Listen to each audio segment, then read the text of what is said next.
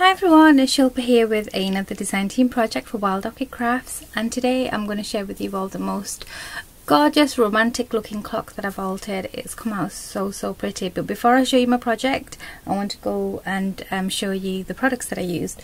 So um, this time I've gone for a completely shabby kind of a look and um, these are the products that I have used. So first of all I've gone for um, these pink tea roses and these are the 30 millimeter sorry the 35 millimeter ones and these are the 40 millimeter ones. I beg your pardon this is the pink tea roses and this is the trellis roses. So these are the two kind of um, roses that I've gone for in the center of my project and they just look so pretty together you can see. And I think the two styles complement each other really really well.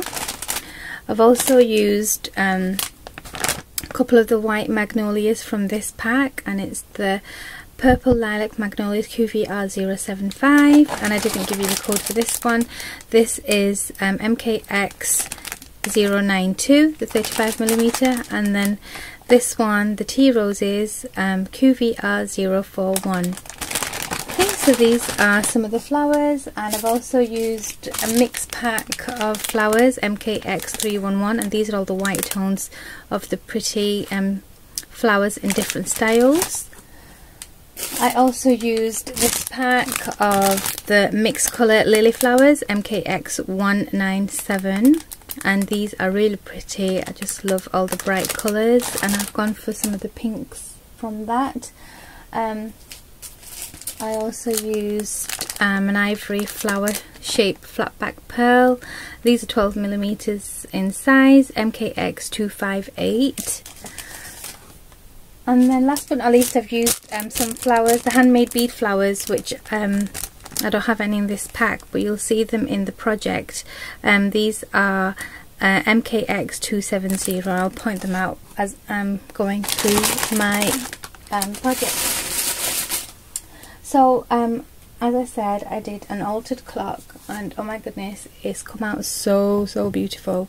So this is how it looks. I'm just going to show you the top. There's the top. So it's all like a metal frame and I've just shabbied it up with some um, gesso and um, it's actually a metal metal clock and the reverse of it, it is a working clock. This is where you put your battery and um, it's good to go. So excuse me. So the flowers I've gone for I, I wanted to kind of complement the background. So this was already on. It's already distressed. And it had like the pinky red tone roses. And it just looked really really romantic even before I started um, embellishing it. So I decided to um, use some pearls and also the handmade these are the bead flowers just to um, again for the romantic feel. So I started off by putting pearls around the clock face there. So I've just gone around with some flat back pearls. And um, some of the excuse me some of the products that I've used are Wild Orchid Crafts but I don't have the codes for on hand but they will definitely be below. So I know Wild Orchid Crafts have got some um, flat back pearls in. Um, I'll put all the links to every single product that I've used below for you guys so you can go and find them on the website. So from that um, I then added some vintage lace at the bottom and this is what that looked like. So I've added some of this um sorry lace edging should I say to the bottom and this is from June. Thanks June. And then from that I just started to build up my flower in the middle. So basically this side is almost similar to this side just a um, few different things going on um, so the, the pink roses again they've been gessoed to make it look a bit more shabby. Um, so there's the large 40 millimeter um, tea rose. These are the trellis roses. I've got some curly roses here from Wild Orchid Crafts. Again the links will be below. I've added the lilies in between, some white cottage roses here, some more open roses in between. These are acrylic um, flowers from my stash. I've added some beautiful two-tone rosebuds and these are from Wild Orchid Crafts. And I'm not sure if Wild Orchid Crafts do these anymore. I'll check and I'll put the codes below. These are from Wild Orchid Crafts. These um, like um, heather-like sprays so I've used the pink ones there there's some more white lilies over here on either end and then there's some pearls tucked away here and there love these flowers oh my gosh they're just so gorgeous I love them so I've got um, one here one here. And then I've also got um, one on either side here just tucked, to, tucked in between the flowers. So there's one here and one here. And um, it just looks so beautiful and it's just really full.